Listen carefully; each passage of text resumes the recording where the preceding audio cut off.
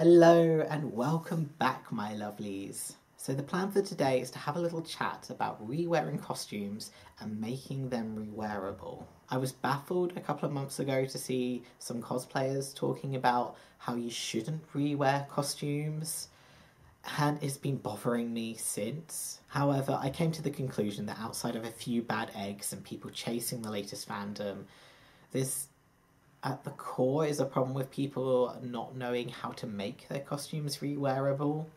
And I think there's something we all can learn from that. So strap yourselves in for a talky video.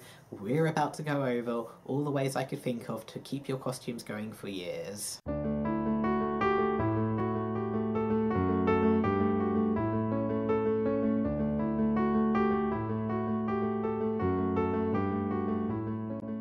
Now, I'm pretty extreme in this regard. I have one costume that I've worn at least twice a year since 2012, and it's rare for anything that I make to go out less than three or four times. But there are plenty of reasons to rewear anything that you make. There's the obvious, it reduces the strain on the environment. Although historical costuming and cosplay is significantly less damaging than fast fashion is, it still has its cost. However, the more you wear it, the less costumes you make, the lesser that impact is. Then there's the personal reasons. Re-wearing a costume is so less stressful than making a new one for every event. The pattern that I've fallen into is to make one for each event and rewear for the rest of the days. Naturally, it's also financially advisable to rewear costumes, aside from the fact you're not paying for new materials, since I've started to make less costumes, although I've been putting the same amount of money into that one costume, I can make it go much further and make a much more elaborate, better costume that way.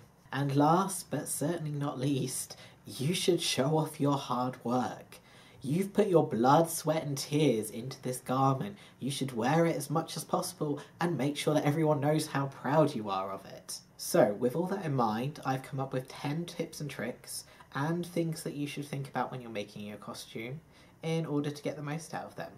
So let's get on to the list. Tip 1 Know your fabric. The first tip I have for you is to keep track of all the fabrics that you're using. If it's available, and I know it isn't in all fabric stores, take a photo of the washing instructions for the fabric that you're buying.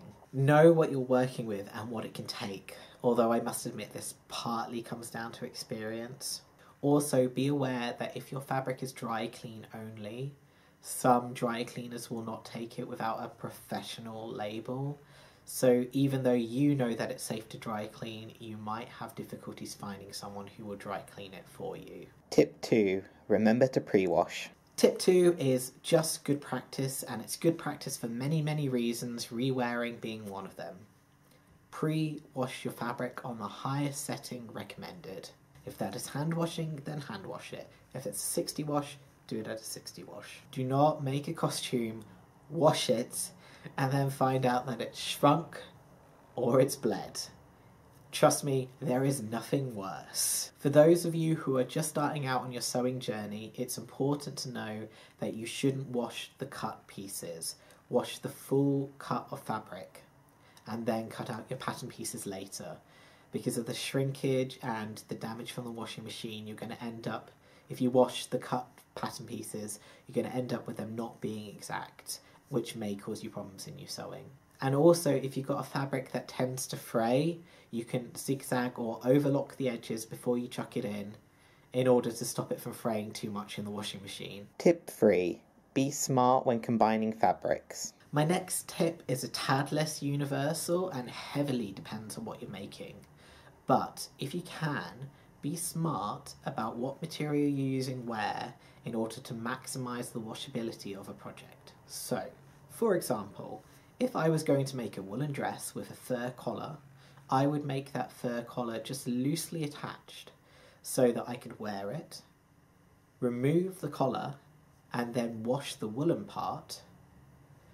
And then once it's washed and dry and clean, reattach that collar and that's because that wool I can put in a hand wash or on the hand wash setting on my machine, but the fur I could not. So by being able to separate the two, I can make sure I can wash the main part of the garment, and the bit that I can't wash, I can do something else with. If you're not being historically accurate, you can take this even further. On this shirt, you can see where I've attached the leather bands using Velcro in order that I can remove them for washing. And on this coat, I have discs that are tacked on to allow me to cut them off for washing and sew them back on later.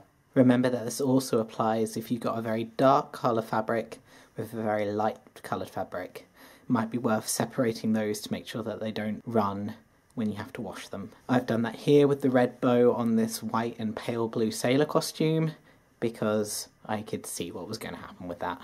This is more of a cosplay tip as it tends to use more alternative material, but it does Tip 4 Think historical. lead me into the next tip. Think historical. Cuffs and collars were removable for centuries because they're the part of your garment that gets the grubbiest. Is it possible on your costume to do that and will it help you keep it clean? Especially if you're wearing heavy makeup for an event or a photo shoot, having a collar that you can remove and wash more frequently than the rest, or even replace if necessary, will help you keep it looking fresh. You can also protect the hem of a skirt in a very similar way by using a more hard wearing material on the inside.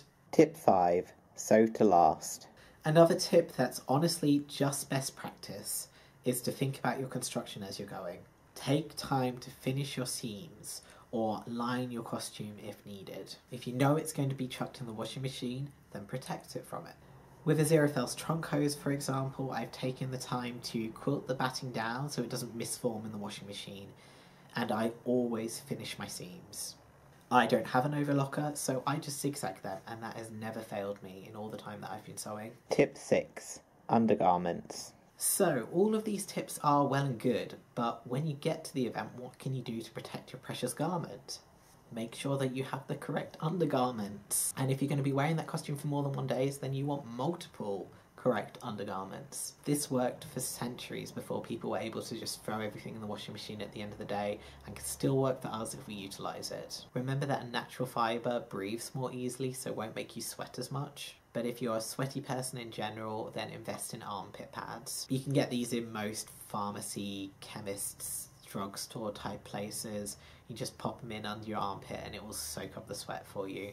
Disgusting, but it works. The less sweat that you get on your costume, the less contact that it has with your body in general, the less you have to wash it, and that's good for any costume. Tip 7 Come prepared. It's not just the inside of your costume that you need to think about when wearing it either. Remember the outside, and if you drop something or accidentally stain it, then act fast. The faster you remove a stain, the less likely it is to cause permanent damage. I don't know how common they are around the world, but here in Germany we have these handy sachets with wipes designed for emergency spills on clothes. You can also get travel wash for washing your clothes in the sink on the go. So if you do need to do an emergency hotel room wash, you can. But do remember to test anything out on a scrap of fabric or on the inside where it can't be seen beforehand. You don't want anything that you're using to remove a stain to cause a stain. Tip 8 Get to know your washing machine.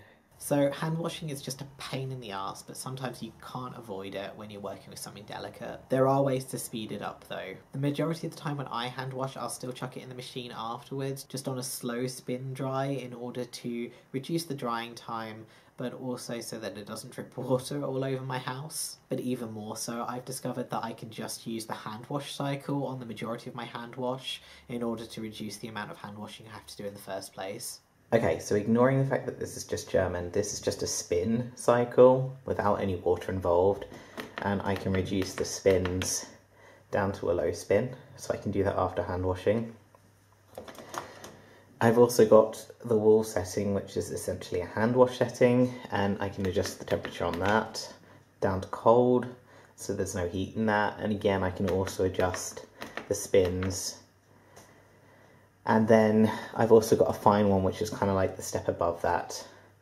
Obviously, not every washing machine has the same settings, but it is something to look at your washing machine, see what it has, and see what you can utilize.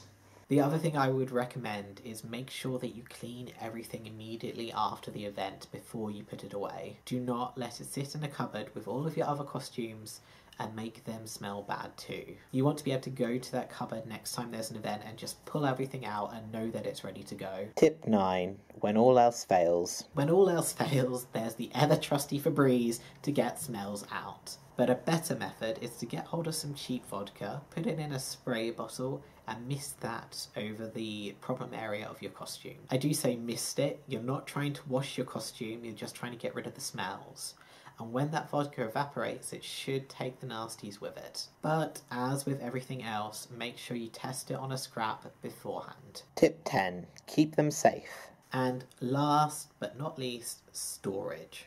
The last thing you want to do is to go to get a costume for an event and find that it smells oddly or it's full of moth holes. Make sure that they're not kept anywhere damp and if you're keeping them in plastic boxes, make sure that nothing smells oddly because the plastic will trap that smell in there and make everything else smell the same. Personally, I like to vacuum pack my less delicate costumes but this is not recommended for anything delicate. Do remember your accessories as well. If it's possible, store the accessories with the costume itself. That way it's less likely that you forget anything when you're going to get that costume next time.